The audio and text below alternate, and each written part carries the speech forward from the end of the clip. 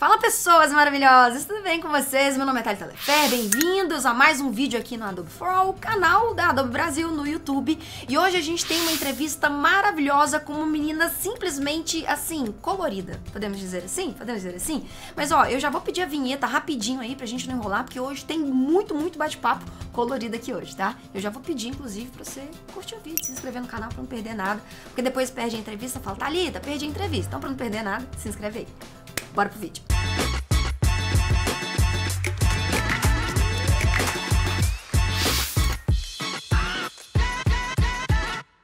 E hoje a nossa entrevistada não é nada mais, nada menos que Fabi Marques, colorista desta vida maravilhosa que põe cor nas nossas vidas. Pois é, eu vou ler para vocês o, o, currículo barra carteirada dessa, dessa mina inacreditável para vocês entenderem o nível da conversa hoje aqui, tá? Gente, a Fabi estudou design digital pela Universidade Anhembi Morumbi e em desenho pela Quanta Academia de Artes. Ela já trabalhou como especialista de QA, desenvolvedora visual, diretora de arte, design de performance, UX designer e atualmente é colorista de quadrinho na Mad Cave Studios.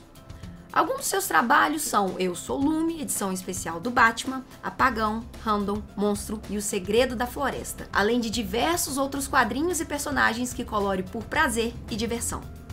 Fabi é vegana, talentosa, maravilhosa, colorida, é com ela que a gente vai bater esse papo hoje, fechou?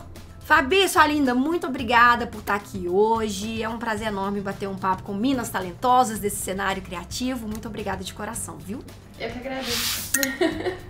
Olha só, eu sei que você já deve ter explicado isso um milhão de vezes em vários lugares, mas eu, queria que você pudesse me contar um pouquinho o que, que significa ser um profissional que trabalha com colorização. O que, que você faz da vida, meu anjo? Onde vive? O que come? é, eu costumo falar que as cores do quadrinho elas são como se fossem uma trilha sonora do filme. Então não pode ser nem muito alto nem muito baixo é, a gente é, costuma ter fundamentos muito sólidos de teoria das cores, composição, é, e é isso. E, e, eu acho legal, principalmente quando a gente fala de teoria da cor, porque a gente sempre está acostumado a ver é, mais aplicado, não só mais aplicado, mas muito conceito da teoria da cor também dentro do design gráfico, para a gente passar todas as emoções, todos os sentimentos, enfim, que você já, já tá cansada de saber.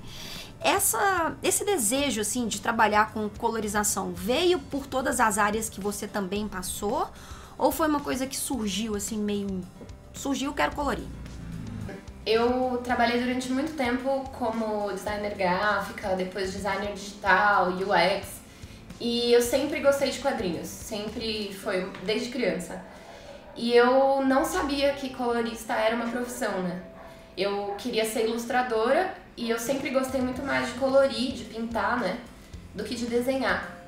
E aí um dia, procurando um curso de ilustração, eu vi que tinha na mesma escola um curso de colorização digital para quadrinhos. E aí, por curiosidade, eu entrei em contato e fui fazer o curso. E aí eu descobri que existia todo um mercado que na, há 10 anos atrás também nem era tão conhecido. A gente, para vocês terem uma noção, o colorista nem colocavam o nome dele na capa do quadrinho, sabe? Tipo, era totalmente assim marginalizado, né, o trabalho. E e aí eu sempre mantive essa, essa jornada dupla, né? Entre ser colorista, chegava em casa do trabalho cansada e ia pintar gibi, ou já dormi no emprego, assim, tipo, algumas vezes, porque não ia dar tempo de voltar para casa, tipo, pegar duas horas de trânsito, então, sei lá, chegava na sexta-feira, eu ficava até mais tarde, aí, tipo, todo mundo ia embora, eu ia embora trabalhando voltava para casa no sábado de manhã. Espero não tomar nenhum processo por isso agora que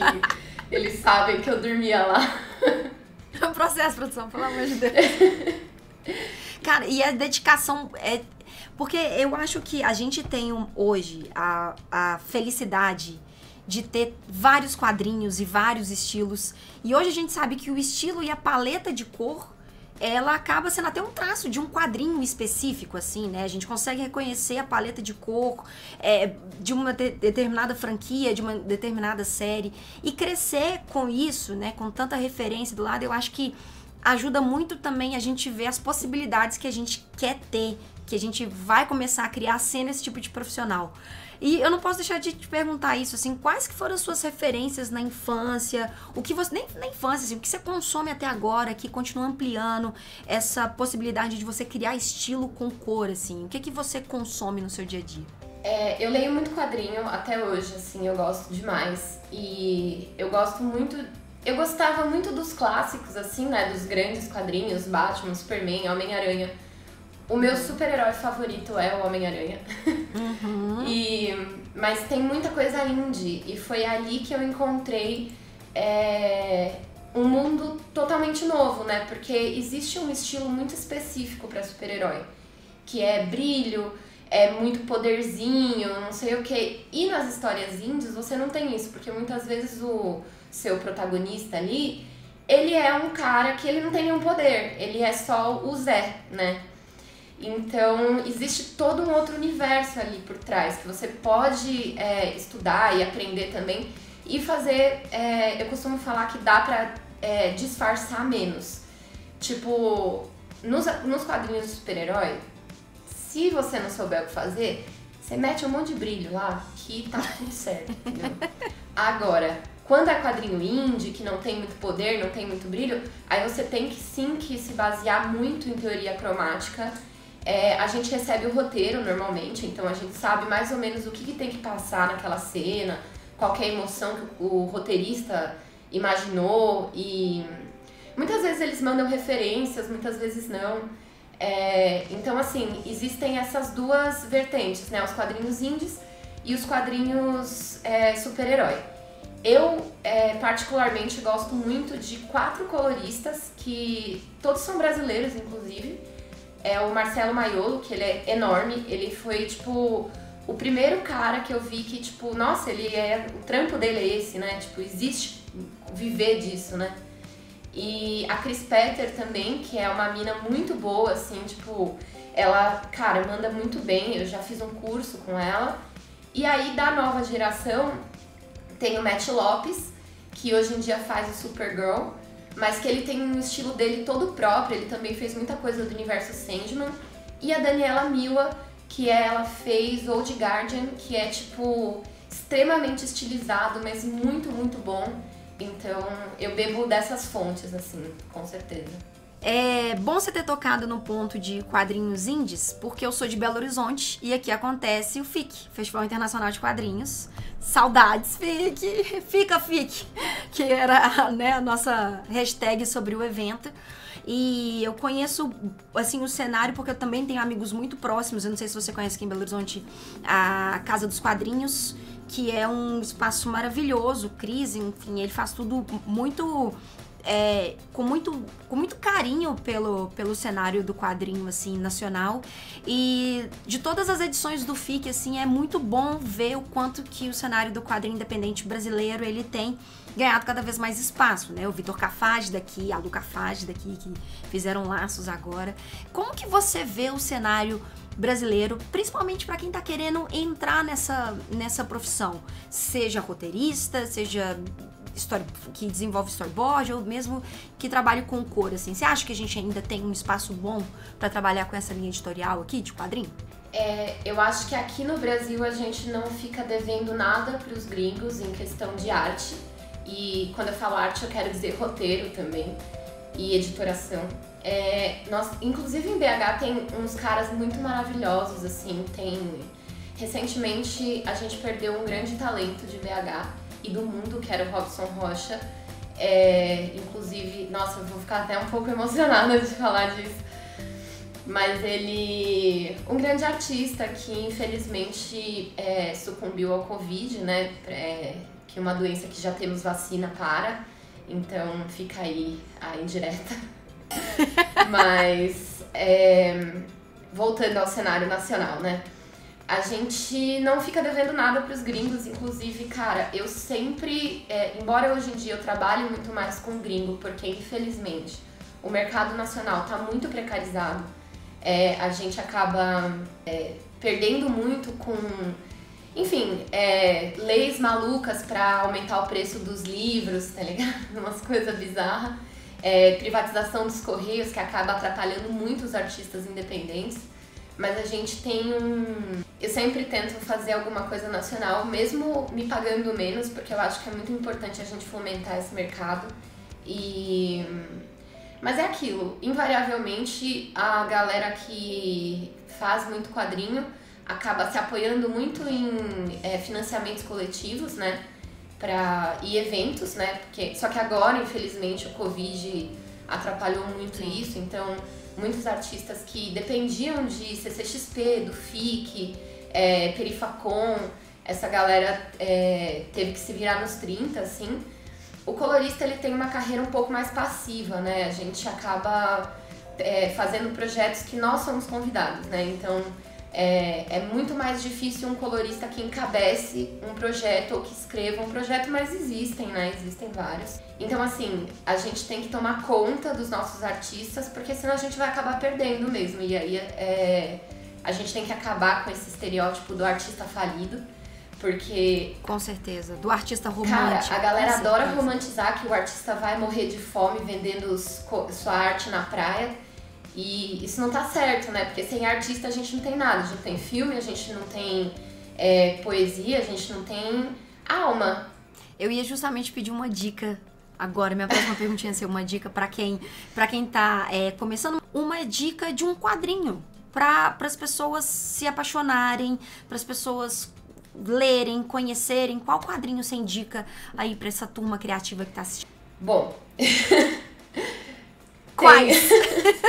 Eu sempre gosto de indicar como quadrinho indie, e para quem não tem muito contato, é Scott Pilgrim e também o Sopa de Salsicha do Eduardo Medeiros, que são quadrinhos de fácil leitura e de super-heróis. Eu recomendo que as pessoas leiam X-Men, porque X-Men é eu, agora a gente vai entrar num assunto polêmico. Coloca a vinheta do polêmico aí. Que, manda, manda. É, quadrinhos são políticos, né? E X-Men trata muito disso. X-Men fala sobre. É quase sobre um apartheid ali, né? Porque existe humanos e mutantes e genocídio, né? Tem. É muito político. Então, é, eu recomendo que leia X-Men, entenda e, e consiga enxergar o mundo e fazer essa comparação através dos quadrinhos de super-herói, que é sempre bom. E é tão gostoso você ver a evolução hoje do diálogo, da ferramenta, das narrativas, dos arcos, das histórias. E, de novo, a cor tá lá, é, cara, para ser uma. uma para contar a história junto. Eu acho que é para reforçar a história que tá contando, né? Não é só para para ficar bonito, bem entre aspas, mas para reforçar a história que que tá contando. Para fechar, eu queria que você me falasse um trabalho seu, aquele trabalho que você olhou e que você sentiu assim que foi um ponto de virada na sua carreira. Um, com certeza o Apagão, que sai pela editora Draco, saiu já. Foi vencedor do PROAC, né, que é um edital é, aqui de São Paulo, que foi meio que o ponto de virada para mim de ser colorista o tempo inteiro e viver disso, apenas disso. Então, é, foi um projeto muito importante, muito querido pro meu coração. Além de todas as personagens é, principais é, não serem maioria mulheres brancas, né?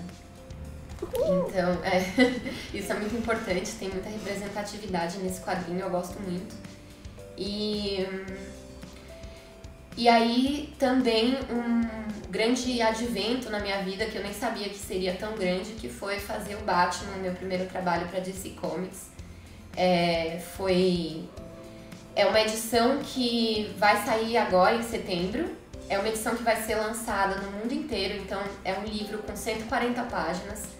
É, cada artista de um país fez um, uma mini história de 10, então é o Batman passando por várias cidades do mundo. E de alguma maneira eu fui escolhida para colorir o do Brasil. E ao lado de grandes nomes, assim, pessoas tipo Brian Azarello, sabe? Que eu falo, caraca, tipo. Caraca! E com o desenhista, o, o, o Pedro Mauro, que assim, o cara tem só de carreira 50 anos, sabe? Então é o dobro da minha idade e, tipo, o cara é muito bom. E, quer dizer, não é o dobro da minha idade, eu já tenho 32 anos. Por isso que a gente faz quadrinho, porque a matemática foi boa. É, a matemática ficou para outro dia. E, e com o Carlos Stefan, que é o roteirista também, então foi uma experiência muito grande para mim e teve uma repercussão muito grande. E, e me abriu muitas portas, assim, tipo, eu não, posso, não tenho do que reclamar mesmo, embora seja ano de pandemia e esteja muito complicado para todo mundo. É um ano muito bom para mim profissionalmente, é, 2019 e 2020. Então, esses dois títulos são muito legais, mas tem outras coisas muito legais, assim, que eu fiz também. É, tem o Eu Sou Lume, que saiu pela Guará. Tem coisa na, na Europa, tem um quadrinho que chama Random. E e é isso, eu faço muito quadrinho indie também, mas aí são mais gringos, assim e tal. Eu tô falando demais? Porque eu falo muito. Mas, meu bem, a entrevista é sua. Se você quiser, a gente fica aqui falando o resto da vida. É, porque assim, eu sempre fui uma pessoa muito política, muito politizada. Não política, né? E, e eu sempre tive isso muito relacionado no meu craft, assim mesmo, de tipo é, de criticar o governo, principalmente. Então eu tenho muita sorte porque os quadrinhos que chegam para eu trabalhar hoje, as propostas que eu recebo, são sempre quadrinhos que têm esse viés político muito forte, sabe? Então, por exemplo, agora eu tô fazendo um que é sobre um cara de banda, é, um, um jovem, né, de ali seus 17 anos, que ele vai numa caçada contra neonazistas, sabe? Então, tipo, uhum. é, o Eu Sou Lume é uma garota negra e periférica, então é, são sempre causas que eu acredito, então isso é muito legal, sabe? É, saber que. Eu tava falando isso de novo em off, fora do ar, que sempre tentam colocar, principalmente a mulher, dentro de uma caixinha, né? De tipo, ai, você é fofinha, você é sensível porque você entende de cores e não sei o quê. E não, sabe? É, nós somos é, seres muito plurais, né? Então, assim, por mais que muitas não demonstrem, toda mulher é um universo, né? É, então, assim, eu nunca deixei que me colocassem dentro dessa caixa de mulher que não dá opinião. Então, por exemplo, as minhas redes sociais, é, elas têm não só quadrinhos, mas elas também têm críticas, elas têm política, elas têm o meu ponto de vista sobre as coisas. Então, assim, é... isso é muito legal, porque as pessoas que me acompanham, que acompanham minha carreira, sabem muito bem o que esperar. E eu vejo muitos artistas que é, perdem seguidor ou que perdem trabalhos quando se posicionam politicamente, porque só agora estão fazendo isso. E eu acho muito importante que eles façam isso mesmo, porque também perder gente que não critica e que acha que quadrinhos e política Exato. não existe, não é uma perda, é livramento, né? Então Exato. a gente. Você tá passando um filtro, né? Você tá colocando um filtro maravilhoso ali. Exatamente, exatamente. Cara, Fabi, não tem como agradecer. É, eu realmente ficaria aqui conversando horas com você, porque eu acho que a gente é. A arte é um, é um dos pontos de comunicação que a gente pode expressar várias coisas. Então, foi um prazer conhecer a sua história. Eu acho que tinha tanta mais coisa. Ainda vai ter. Produção, chamar de novo que já, já vai agendar aí um segundo bate-papo, tá, produção? Inclusive, para quem estiver assistindo, quero convidar a conhecer não só as redes sociais, mas como o portfólio da Fabi também, para vocês conferirem todos os trabalhos que a gente comentou, além dos trabalhos que já passaram aí para vocês. E queria agradecer muito, muito, muito, Fabi. Foi muito importante você bater esse papo aqui com a gente. Eu de verdade, agradeço. viu? Muito obrigada. Pra fechar, título de curiosidade, pra fechar, pra fechar. Se fosse ter uma, um quadrinho sobre a história de Fabi Marques, qual seria a paleta de cor, hein? Cara, eu gosto muito de uma coisa que eu chamo de paleta pirulito, que eu que inventei esse nome, mas que é esses tons de roxo, é, azul, azul calcinha, é, rosa eu gosto muito dessa paletinha de cor, cor pirulito, sabe? Cor de pirulito. É isso, basicamente. Fabi, muito obrigada de coração. Seja extremamente bem-vinda quando você Eu quiser, viu? Pessoas, vai lembrar que todos os links comentados estão aqui embaixo, tá bom? Me conta aí se você curtiu esse bate-papo, se você quer outros bate-papos, tá? Então não se esqueça, por favor, de curtir esse vídeo, se inscrever no canal, para você não perder outras entrevistas maravilhosas com esses profissionais que a gente ama e a gente admira, porque a gente precisa trazer todos os talentos aqui sim para conversar, não só sobre arte, sobre pontos importantes também que a gente pode fazer com o nosso trabalho. Combinado? Beijo no coração de vocês, ajeita na cadeira aí, que eu sei que você tá sentado que nem um camarão, que nem eu, né? A gente se vê no próximo vídeo. Tchau, tchau.